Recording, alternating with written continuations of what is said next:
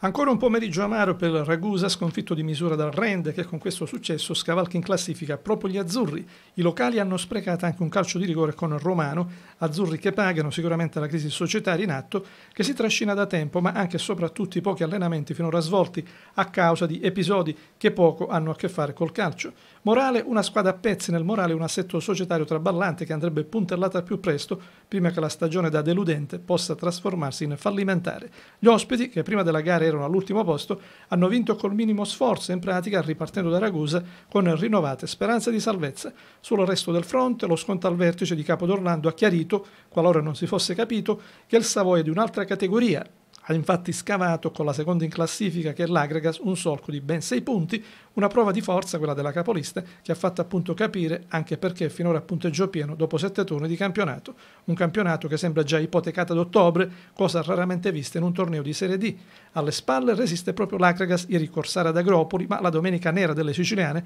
oltre a Ragusa, è stata completata dalle sconfitte del Due Torri a Battipaglia, del noto col Torrecuso e del Licate che addirittura non si è presentata a Gioia Tauro e per la formazione grigentina si profila già l'Amaro ritorno in eccellenza.